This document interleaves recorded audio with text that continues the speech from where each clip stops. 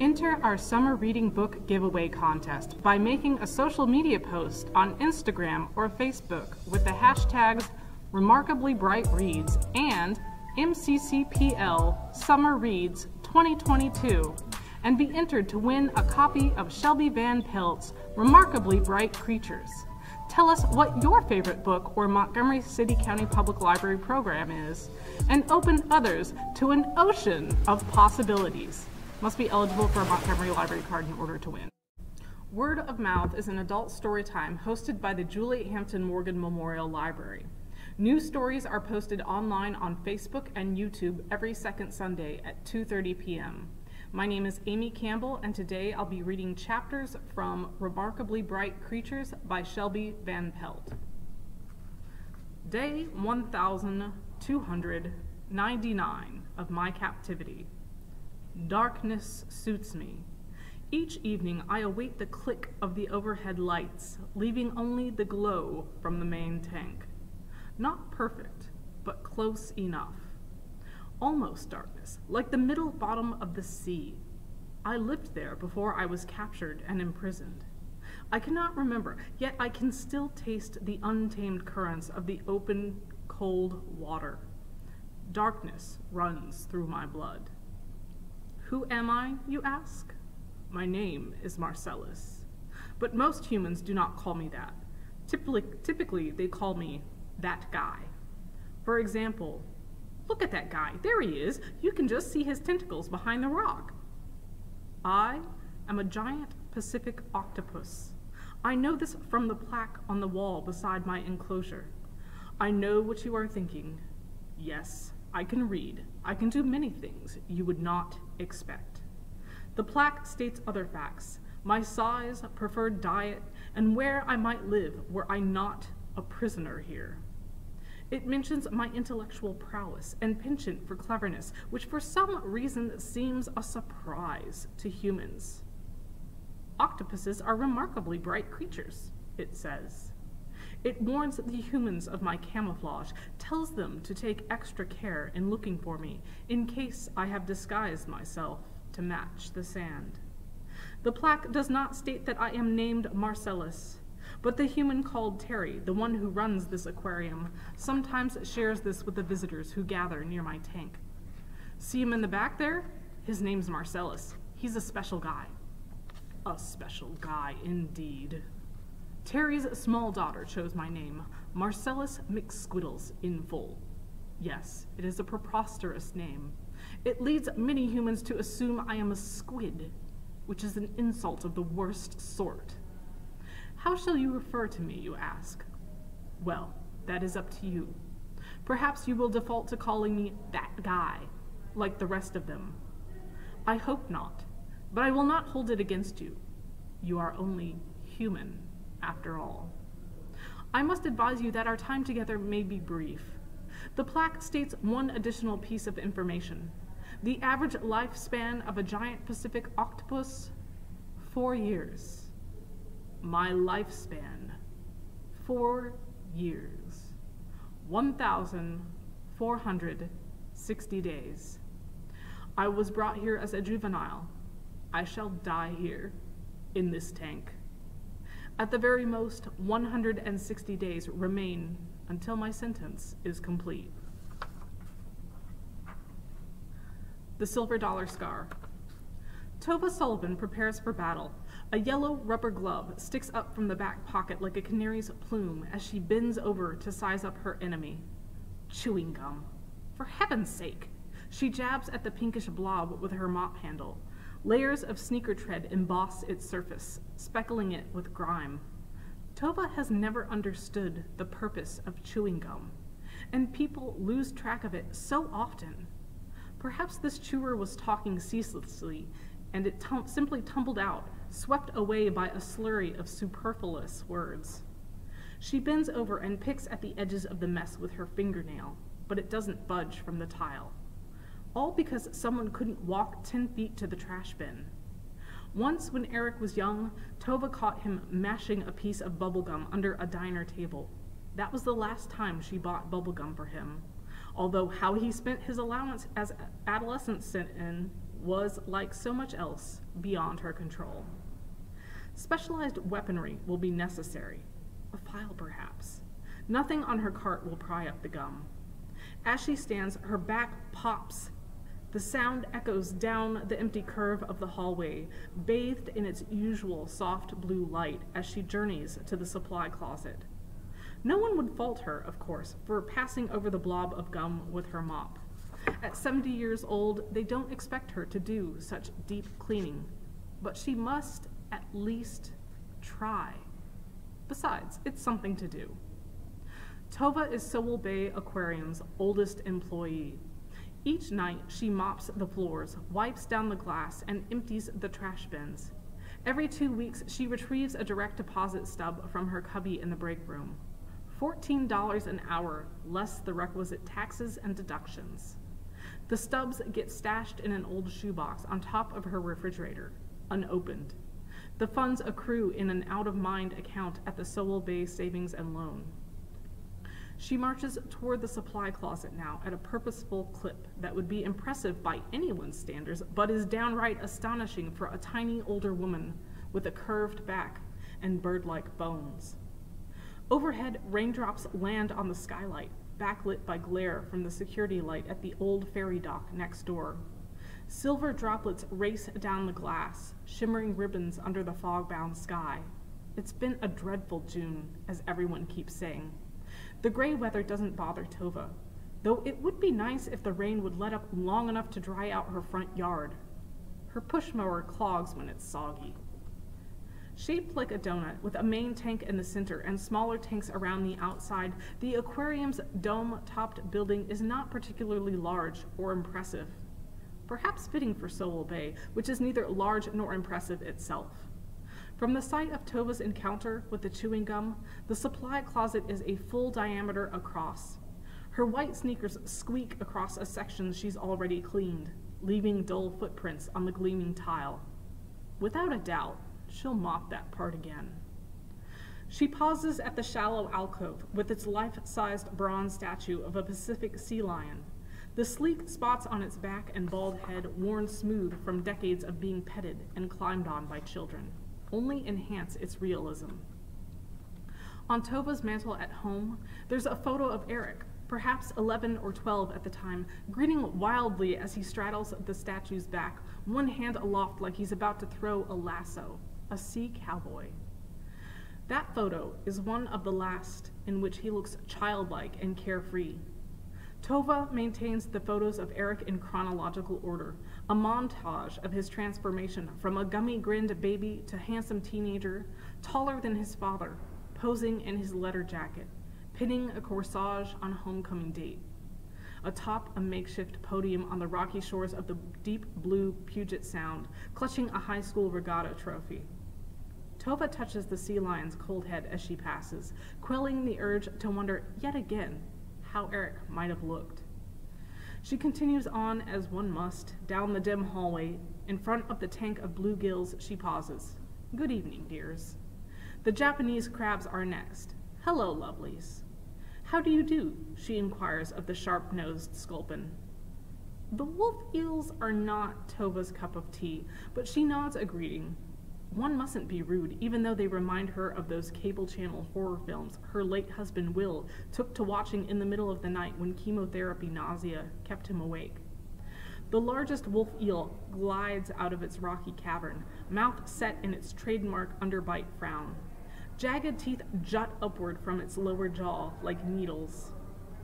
An unfortunate looking thing, to say the least. But then looks are deceiving, aren't they? Tova smiles at the wolf eel, even though it could never smile back, not even if it wanted to, with a face like that. The next exhibit is Tova's favorite. She leans in close to the glass. Well, sir, what have you been up to today? It takes her a moment to find him, a sliver of orange behind the rock, visible but mistakenly, like a child's hide-and-seek misstep, a girl's ponytail sticking up behind the sofa, or a socked foot peeking out from under the bed. Feeling bashful tonight? She steps back and waits. The giant Pacific octopus doesn't move. She imagines daytime people rapping their knuckles on the glass, huffing away when they don't see anything. Nobody knows how to be patient anymore. I can't say I blame you. It does look cozy back there. The orange arm twitches, but his body remains tucked away. The chewing gum mounts a valiant defense against Tova's file, but eventually it pops off. When Tova pitches the crusty blob into the trash bag, it makes a satisfying little swoosh as it rustles the plastic. Now she mops. Again. Vinegar with a hint of lemon tinges the air, wafting up from the wet tile. So much better than the dreadful solution they'd been using when Tova first started bright green junk that singed her nostrils. She'd made her case against it right off the bat. For one thing, it made her dizzy.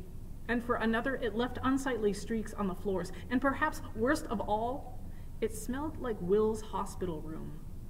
Like Will being sick. Although Tova kept that part of her complaint private.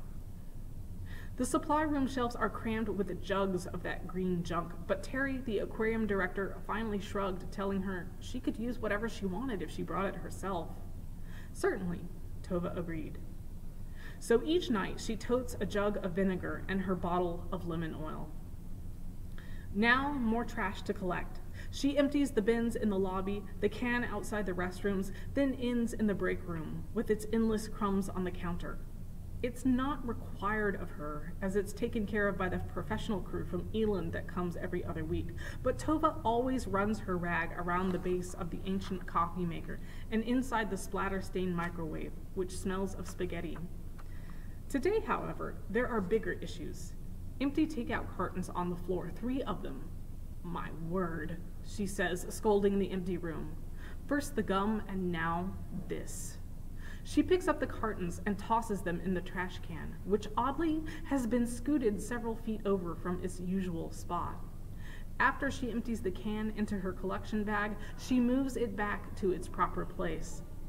Next to the trash sits a small lunch table. Tova straightens the chairs. Then she sees it. Something underneath.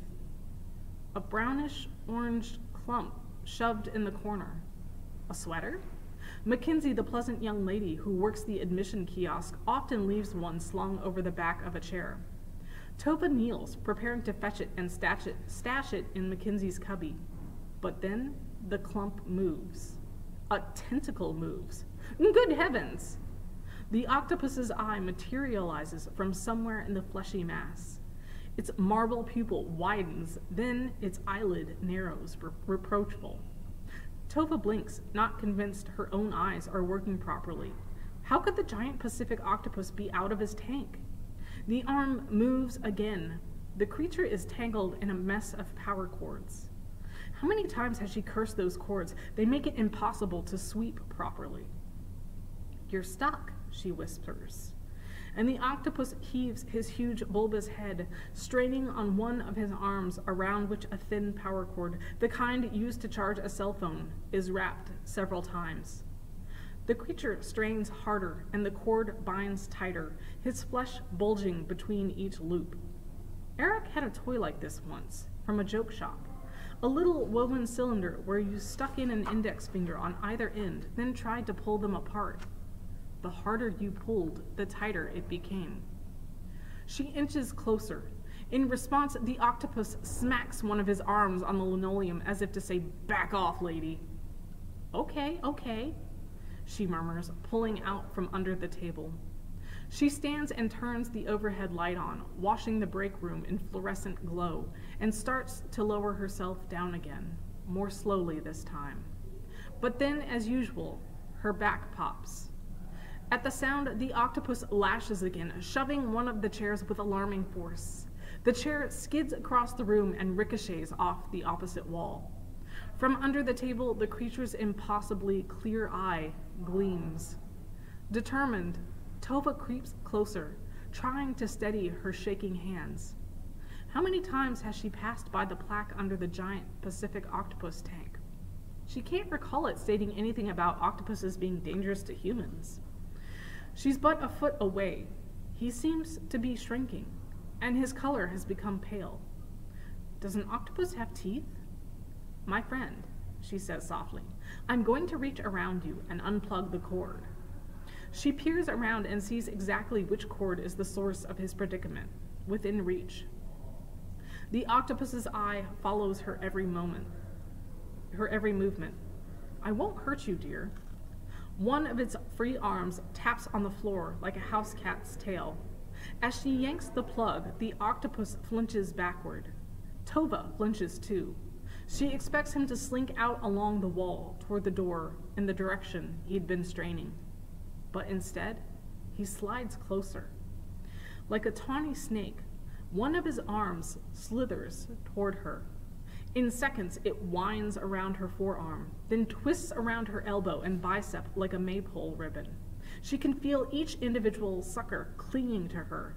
Reflexively, she tries to yank her arm away, but the octopus tightens his grip to the point where it's almost uncomfortable. But his strange eye glints playfully, like a naughty child's empty takeout cartons, misplaced trash can. Now it makes sense. Then, in an instant, he releases her. Tova watches incredulous as he stalks out the break room door, suckering along on the thickest part of each of his eight legs. His mantle seems to drag behind him, and he looks even paler now. He's moving with effort. She hurries after him, but by the time she reaches the hallway, the octopus is nowhere to be seen. Tova drags a hand down her face. She's losing her faculties. Yes, that's it. This is how it begins, isn't it? With hallucinations about an octopus?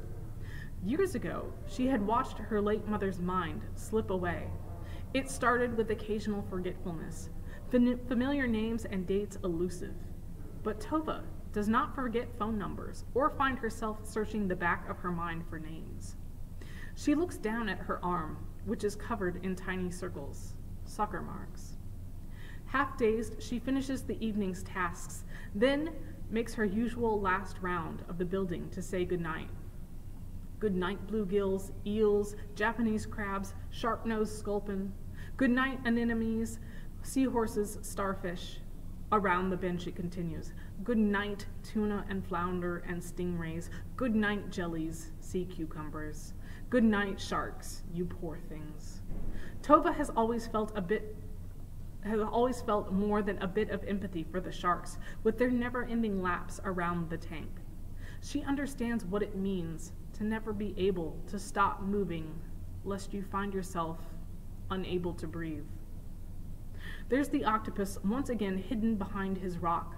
A puff of flesh sticks out. His orange is more vivid now compared to how he looked in the break room, but he's still paler than usual.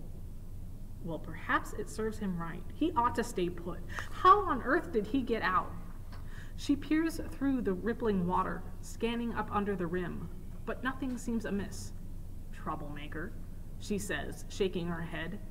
She hovers for an extra moment in front of his tank before leaving for the night. Tova's yellow hatchback chirps and blinks its sidelights as she presses the key fob, a feature she's still not accustomed to. Her friends, the group of lunching ladies who affectionately call themselves the Nitwits, convinced her she needed a new car when she started her job. A safety issue, they argued, to drive at night in an older vehicle? They badgered her about it for weeks. Sometimes it's easier to simply give in. After depositing her jug of vinegar and bottle of lemon oil in the trunk, as always, because no matter how many times Terry has told her she's welcome to store them in the supply closet, one never knows when a bit of lemon and vinegar might come in handy. She casts a glance down the pier.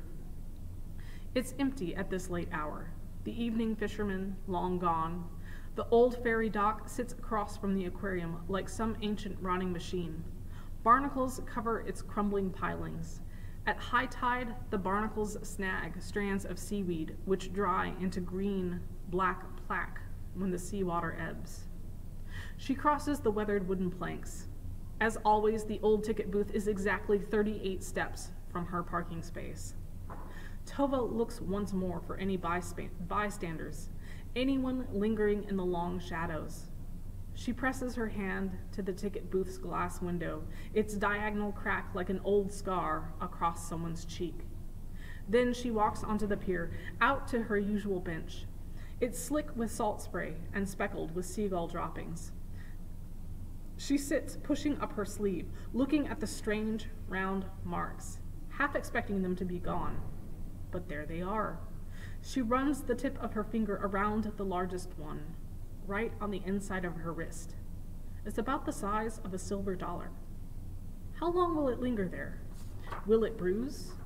Bruises come so easily these days, and the mark is already turning maroon, like a blood blister. Perhaps it will remain permanently, a silver dollar scar. The fog has lifted, nudged inland by the wind, shunted off toward the foothills. To the south, a freighter is anchored, hull riding low under the rows of container, containers stacked like a child's building blocks on its deck. Moonlight shimmies across the water, a thousand candles bobbing on its surface. Tova closes her eyes, imagining him underneath the surface, holding the candles for her. Eric her only child. Day 1300 of my captivity. Crabs, clams, shrimp, scallops, cockles, abalone, fish, fish eggs. This is the diet of a giant Pacific octopus according to the plaque next to my tank. The sea must be a delightful buffet, all of these delicacies free for the taking. But what do they offer here? Mackerel, halibut, and above all, herring, Herring, herring, herring, so much herring. They are foul creatures, disgusting little slips of fish. I am sure the reason for their abundance here is their low cost. The sharks in the main tank are rewarded for their dullness with fresh grouper, and I am given defrosted herring sometimes still partially frozen even. This is why I must take manners into my own arms, when I desire the sublime texture of fresh oyster, when I yearn to feel the sharp crack of my beak crushing a crab in its shell, when I crave the sweet, firm flesh of a sea cucumber. Sometimes my captors will drop me a pity scallop if they are attempting to lure me into cooperation with a medical examination, or bribe me into playing one of their games. And once in a while, Terry will slip me a mussel or two, just because. Of course, I have sampled crabs, clams, shrimp, cockles, and abalone many times over.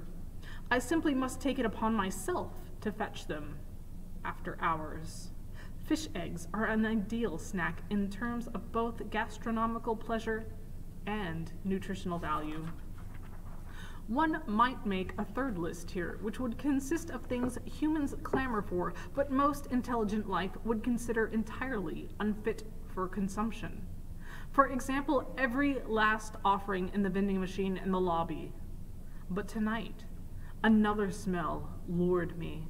Sweet, salty, savory. I found its source in the rubbish bin, its remains ensconced in a flimsy white container.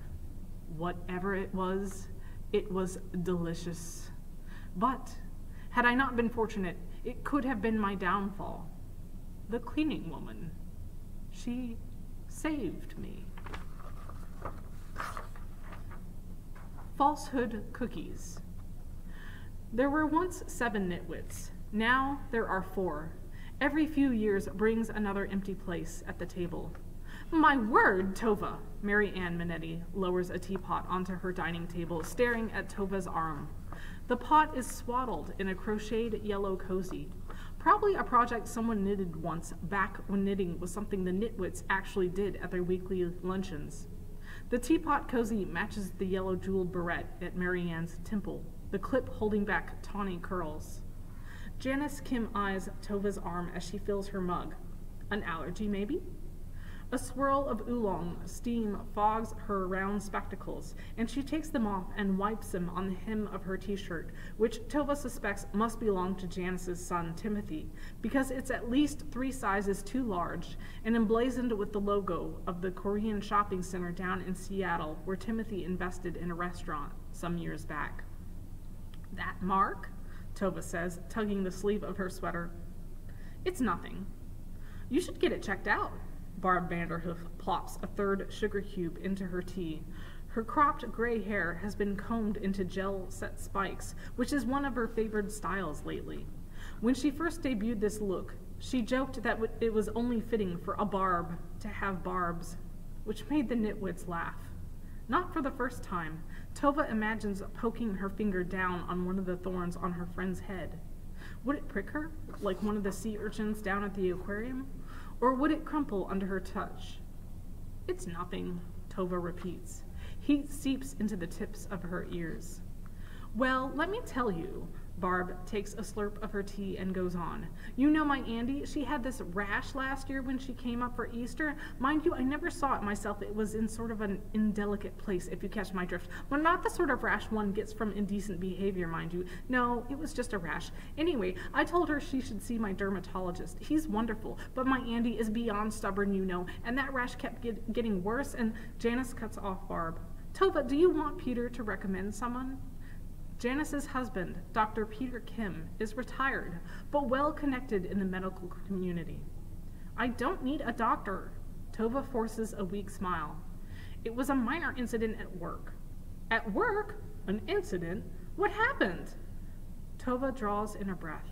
She can feel the tentacle still wrapped around her wrist. The spots had faded overnight, but they remained dark enough to see plainly. She tugs her sleeve down again. Should she tell them? A, a mishap with some cleaning equipment, she finally says. Around the table, three pairs of eyes narrow at her. Mary Ann wipes an imaginary spot from the tabletop with one of her tea towels. That job of yours, Tova. Last time I was down at the aquarium, I nearly lost my lunch from the smell. How do you manage? Tova takes a chocolate chip cookie from the platter Mary Ann set out earlier. Mary Ann warms the cookies in the oven before the ladies arrive. One can't have tea, she always comments, without something homemade to nibble on.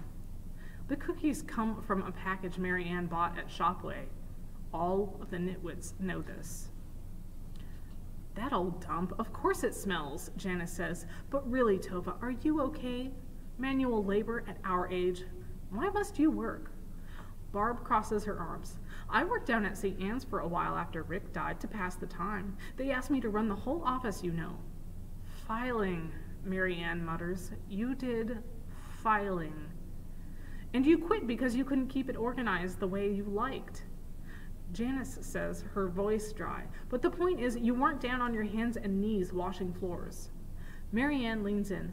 Tova, I hope you realize if you need help, help, Yes, help. I don't know how Will arranged your finances. Tova stiffens. Thank you, but I have no such need. But if you did, Mary Ann's lips knit together. I do not, Tova replies quietly. And this is true. Tova's bank account would cover her modest needs several times over. She does not need charity, not from Mary Ann, not from anyone else. And further, what a thing to bring up, and all because of a little set of marks on her arms. After rising from the table, Tova sets her teacup down and leans on the counter.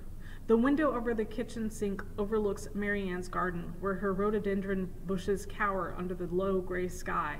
The tender magenta petals seem to shiver as a breeze ruffles the branches, and Tova wishes she could tuck them back into their buds. The chill in the air is unseasonable for mid-June. Summer is certainly dragging its feet this year. On the windowsill, Mary Ann has arranged a collection of religious paraphernalia. Little glass angels with cherub faces, candles, a small army of shiny silver crosses in various sizes lined up like soldiers. Mary Ann must polish them daily to keep them gleaming. Janice cups her shoulder. Tova, earth to Tova, Tova can't help but smile. The lilt in Janice's voice makes Tova think Janice has been watching sitcoms again. Please don't be upset. Mary Ann didn't mean anything by it. We're just worried. Thank you, but I'm fine. Tova pats Janice's hand. Janice raises one of her neatly groomed eyebrows, steering Tova back toward the table. It's clear Janice understands how deeply Tova wishes to change the subject because she goes for low-hanging conversational fruit. So, Barb, what's new with the girls? Oh, did I tell you? Barb draws in a dramatic breath. No one has ever needed to ask Barb twice to muse on the lives of her daughters and grandchildren. Andy was supposed to bring the girls up for their summer break, but they had a hitch in their plans. That's exactly what she said, a hitch. Janice wipes her glasses with one of Mary Ann's embroidered napkins. Is that right, Barb? They haven't been up since last Thanksgiving. She and Mark took the kids to Las Vegas for Christmas, if you can believe that. Who spends a holiday in Las Vegas? Barb pronounces both words, Las and Vegas, with equal weight and contempt, the way someone might say spoiled milk. Janice and Mary Ann both shake their heads, and Tova takes another cookie. All three women nod along as Barb launches into a story about her daughter's family, who live two hours away in Seattle, which one might conclude was in another hemisphere for how infrequently Barb purports to see them.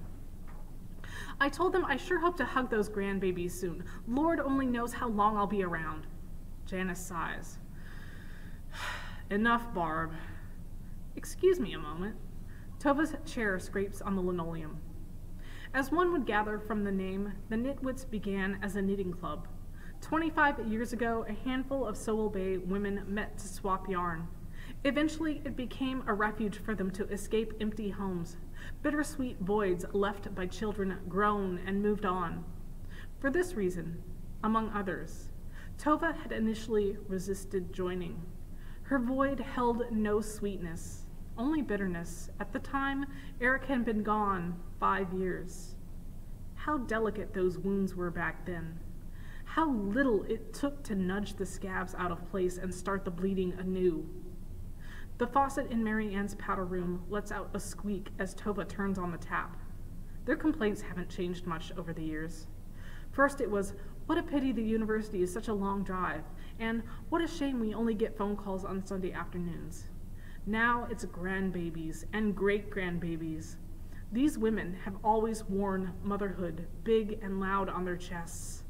But Tova keeps hers inside, sunk deep in her guts like an old bullet, private. A few days before Eric disappeared, Tova had made an almond cake for his 18th birthday. The house carried that marzipan smell for days after, she still remembers how it lingered in her kitchen, like a clueless house guest who didn't know when to leave. At first, Eric's disappearance was considered a runaway case. The last person who saw him was one of the deckhands working the 11 o'clock southbound ferry, the last boat of the night, and the deckhand reported nothing unusual. Eric was meant to lock up the ticket booth afterward, which he did dutifully. Eric was so pleased they trusted him with the key. It was only a summer job after all. The sheriff said they found the ticket booth unlocked with the register cash fully accounted for. Eric's backpack was stashed under the chair, along with his portable cassette player and headphones, even his wallet. Before they ruled out the possibility of foul play, the sheriff speculated that perhaps Eric had stepped away for a short time, planning to come back. Why would he leave his booth alone when on duty? Tova has never understood. Will always had a theory there was a girl involved, but no trace of any girl, or any boy for that matter, was ever found. His friends insisted that he wasn't seeing anyone at the time. If Eric had been seeing someone, the world would have known about it. Eric was a popular kid. One week later, they found the boat. A rusty old suncat no one had noticed was missing from the tiny marina they used to be, that used to be next to the ferry dock. It washed ashore with its anchor rope cut off clean. Eric's prints were on the rudder. Evidence was thin, but it all pointed to the boy taking his own life, the sheriff said. The neighbors said. The newspaper said. Everyone said. Tova has never believed that, not for one minute. She pats her face dry, blinking at the reflection in the powder room mirror. The Nitwits have been her friends for years, and sometimes she still feels as if she's a mistaken jigsaw piece who found her way into the wrong puzzle. Tova retrieves her cup from the sink, pours herself some fresh oolong, and slips back into her chair and the conversation. It's a discussion of Mary Ann's neighbor who is suing his orthopedist after a poorly done surgery. The ladies agree the physician ought to be held responsible. Then there's a round of cooing over photos of Janice's little Yorkie, Rollo, who often comes along to Nitwits in Janice's handbag. Today, Rollo is home with a sour stomach. Poor Rollo, Mary Ann says. Do you think he ate something bad? You should stop feeding him human food, Barb says. Rick used to give our Sully plate scraps behind my back, but I could tell every time. Ugh, the smelly shit. Barbara, Mary Ann says, eyes wide. Janice and Tova laugh. Well, pardon my language, but that dog could stink up a whole room. May she rest in peace. Barb presses her hands together, prayer like. Tova knows how dearly Barb had loved her golden retriever, Sully, perhaps more than she'd loved her late husband, Rick and in the space of a few months last year, she'd lost both. Tova wonders sometimes if it's better that way, to have one's tragedies clustered together, to make a good use of the existing rawness, get it over with in one shot. Tova knew there was a bottom to those depths of despair. Once your soul was soaked through with grief, any more simply ran off, overflowed the way maple syrup on Saturday morning pancakes always cascaded onto the table whenever Eric was allowed to pour it himself. At three in the afternoon, the nitwits are gathering their jackets and pocketbooks from the backs of their chairs when Mary Ann pulls Tova aside. Please do let us know if you need help. Mary Ann clasps Tova's hand. The other woman's olive Italian skin, young looking and smooth comparatively. Tova's Scandinavian genes, so kind in her youth, had turned on her as she aged. By 40, her corn silk hair was gray. By 50, the lines on her face seemed etched in clay. Now she sometimes catches a glimpse of her profile, reflected in a shop window, the way her shoulders have begun to stoop. She wonders how this body can possibly be hers. I assure you I don't need help. If that job becomes too much, you'll quit, won't you? Certainly. All right. Mary Ann doesn't look convinced. Thank you for the tea, Mary Ann. Tova slips into her jacket and she and smiles at the group of them. Lovely afternoon, as always. Tova pats the dashboard and steps on the accelerator, coaxing another downshift from the hatchback. The car groans as it climbs. Mary Ann's house sits in the bottom of a wide valley that once was nothing but daffodil, daffodil fields. Tova remembers riding through them when she was a little girl, next to her older brother Lars, in the back seat of the family's Packard. Papa at the steering wheel, Mama next to him with her window down, clutching her scarf under her chin so it wouldn't fly off. Tova would roll her window down, too, and crane her neck as far out as she dared. The valley smelled of sweet manure. Millions of yellow bonnet heads blurred together into a sea of sunshine. Nowadays, the valley floor is a suburban grid. Every couple of years, the county has a big to-do about reworking the road snaking up the hill. Mary Ann is always writing letters to the council about it. Too steep, she argues. Too prone to mudslides. Not too steep for us, Tova says as the hatchback pulls over the crest. On the other side, a spot of sun glows on the water, squeezing through a crack in the clouds. Then, as if pulled by puppet strings, the crack opens, bathing Puget Sound in clear light. Well, how about that? Tova says, flipping down the visor. Squinting, she turns right onto Sound View Drive, which runs along the ridgeline above the water, toward home. Sun, at last! Her asters need deadheading, and for weeks the chilly wet weather, unseasonable even by Pacific Northwest standards, has dampened her enthusiasm for yard work. At the thought of doing something productive, she presses the gas harder. Perhaps she can finish the entire flower bed before supper. She breezes through the house for a glass of water on her way to the back garden, pausing to press, press the blinking red button on her answering machine. That machine is perpetually full of nonsense, people trying to sell her stuff, but she always clears out her messages first thing. How can anyone function with a red light blinking in the background? The first recording is someone soliciting don donations. Delete. The second message is clearly a scam. Who would be foolish enough to call back and give a bank account number? Delete. The third message is an error, muffled voices, then a click. A butt dial, as Janice Kim refers to them, as hazard of the ridiculous practice of keeping phones in pockets. Delete. The fourth message begins with a stretch of silence. Tova's finger is about to punch the delete button when a woman's voice comes on. Tova Sullivan? she clears her throat. This is Maureen Cochran from the Charter Village Long Term Care Center. Tova's water glass clinks as it hits the counter. I'm afraid I have some bad news. With a sharp click, Tova punches the button to hush the machine. She doesn't need to hear anymore. It's a message she's been expecting for quite some time. Her brother Lars. Day 1301 of my captivity. This is how I do it. Near the top of my enclosure, there is a hole in the glass where the pump comes in. There is a gap between the pump housing and the glass wide enough for me to fit the tip of a tentacle through and unscrew the housing. The pump floats into my tank, exposing a gap. The gap is small, about the width of two or three human fingers. But you will say, but that's tiny, you're too big. That is true, but I have no trouble shaping my body to pass through. That is the easy part. I slide down the glass into the pump room behind my tank. Now begins the challenge. The clock is ticking, you might say. Once I am out of my tank, I must resubmerge within 18 minutes, or I will experience the consequences. 18 minutes I can survive out of water. This fact is nowhere to be found on the plaque by my tank, of course. I have determined this myself. On the cold concrete floor, I must choose whether to remain in the pump room or breach the door. Each choice has its merits and costs. If I choose to stay in the pump room, I have easy access to the tanks nearest mine. Unfortunately, these tanks hold limited appeal. The wolf eels are simply not an option, for what should be obvious reasons, those teeth. The Pacific sea nettle are too spicy.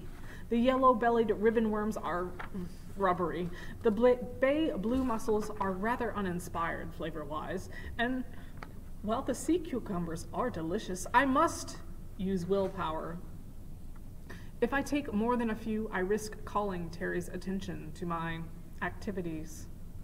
Alternately, if I choose to breach the door, I have reign of the hallway and the main tank. A more robust menu, but it comes at a price. First, I must invest several minutes on the process of opening the door on the way out. Then, because the door is heavy and will not remain ajar on its own, I must spend several minutes reopening it on my return. Why don't you prop the door? Well, obviously, I did prop the door once with the stool below my tank. With those extra minutes of freedom, I pillaged a bucket of fresh halibut chunks left by Terry under the hatch of the main tank. Presumably, the halibut chunks were meant to be breakfast for the sharks the following morning, but the dim-witted sharks hardly know day from night, so no regrets there. Under this illusion of leisure, it was almost a pleasant evening. Perhaps the most enjoyable time I've had since I was taken captive, but upon return, I discovered something that to this day I cannot comprehend. By some slight, the stool had failed to hold the door. Lesson? I cannot trust a propped door. By the time I worked it open, I was failing. The consequences were in full effect. My limbs moved slowly, and my vision blurred. My mantle became heavy and lolled toward the floor. Through the haze, I could see my flesh had paled to a flat shade of brownish gray. As I crawled across the pump room, the floor no longer felt cold. No surface registered any temperature. Somehow, my clumsy suckers fumbled me up the glass. I worked my tentacles and mantle, through the gap. Partway through, I paused, hovering over the surface. My tentacles were completely numb, devoid of any sensation. For a moment, I considered this option. Nothing was something. What might lie on the other side of life? As the water took me in, I returned. My sight sharpened to the familiar trappings of my tank. I coiled a tentacle around the pump and replaced it, closing the gap. Color crept back into my flesh as I poked an arm through the crack to screw the housing into place. My mantle trailed through the cold water as I swam, strong and swift, to my den behind the rock. My gut, crammed full of halibut, ached pleasantly.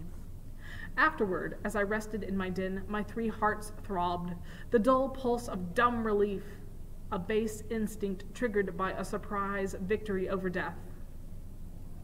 I suppose it might be how a cockle feels, having buried itself in the sand under the snap of my beak, beating the odds, as you humans might say.